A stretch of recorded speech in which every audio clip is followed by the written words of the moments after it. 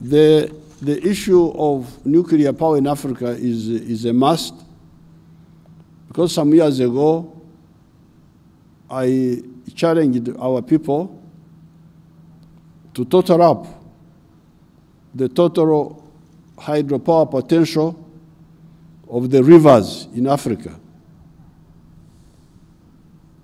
The River Congo, the, the rivers in Ethiopia, this, this river Nile here, the river Niger,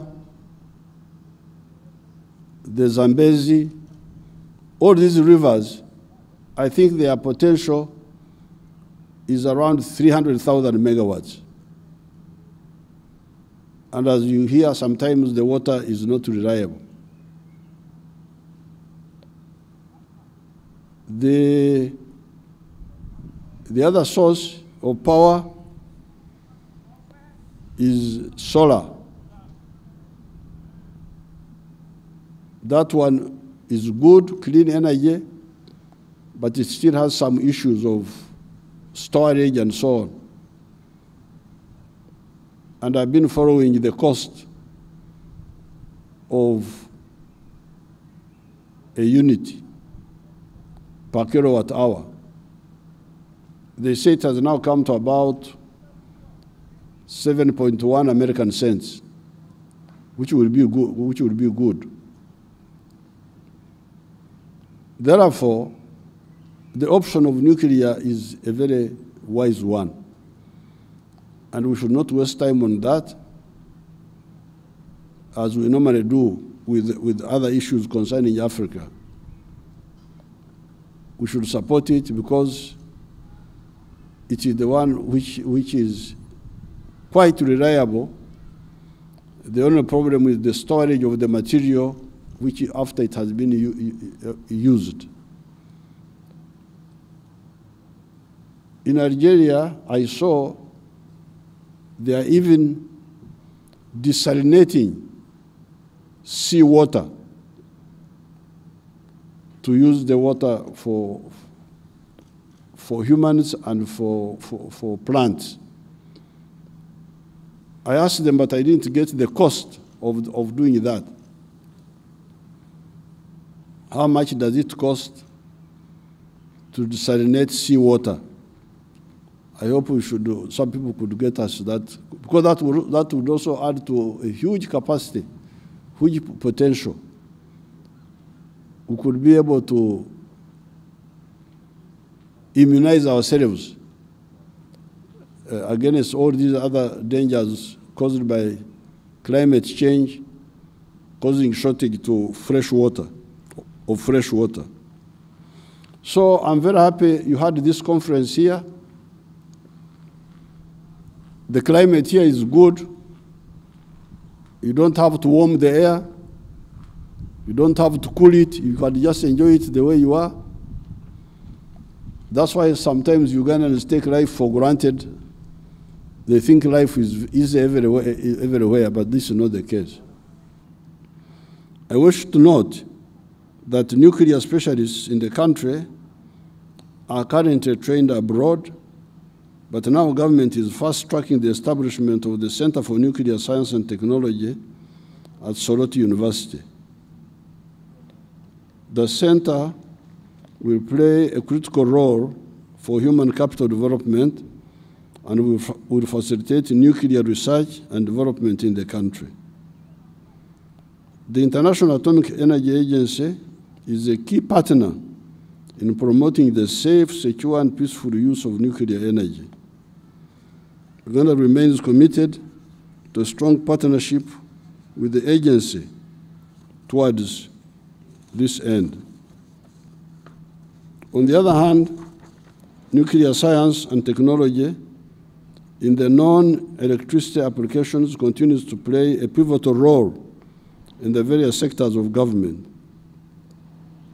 For example, treatment and diagnosis of disease in human health mainly for cancer management, improvement of agricultural productivity through mutation breeding and pest control in food and agriculture, research and industry. I've just returned from Algeria, where I had the opportunity of visiting the Nuclear Research Institute of Algiers. I was impressed by the strides made by the government of the Republic of Algeria. In May 2022, I received the agency report on the Integrated Nuclear Infrastructure Re Review Mission. This report guided the Ministry of Energy and Mineral Development to further prepare the country for nuclear power development.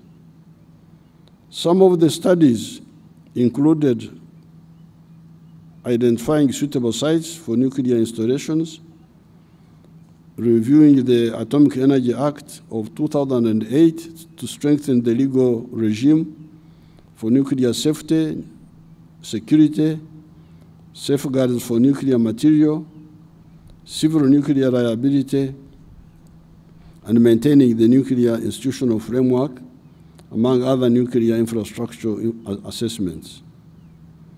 Relatedly, preparation to evaluate nuclear power plant site in eastern Uganda, across the shores of Lake Victoria in Buyende, is ongoing to, to pave the way for the first nuclear power project expected to generate 2,000 megawatts, with the first 1,000 megawatts to be connected to the national grid by 2031.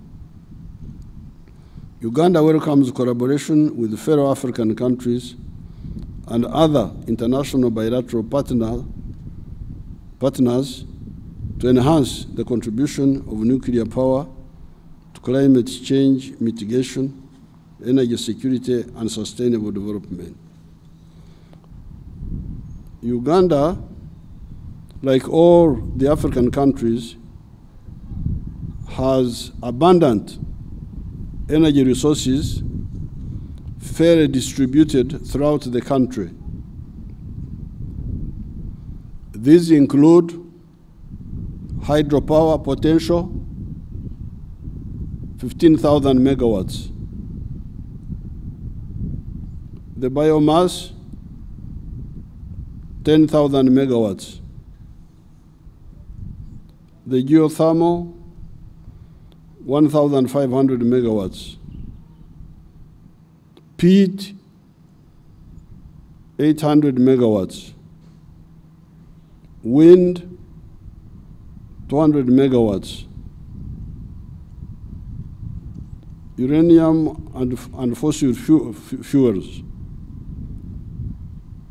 Sustainable development and utilization of these resources necessitates establishing transparent and well-balanced partnerships with key technology providers across the globe. Therefore, this meeting presents a very good opportunity for exploring areas of strategic collaborations between African countries pursuing nuclear energy development and nuclear technology providers to forge a way forward for developing the nuclear industry on the continent.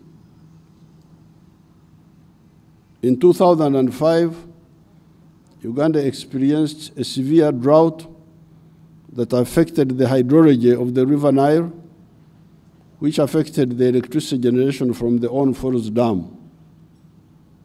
As a result, we resorted to the expensive fossil-fired power plants to support the economy. Uh, this prompted me to direct the Minister of Energy and Mineral Development to diversify the energy mix to, to develop all the available energy resources, including nuclear energy, as a means to address the electricity needs of the country. So it is now my honor to declare the African Nuclear Business Platform 2023. Was it not open already? Was it open already? I, I also add my opening to the opening.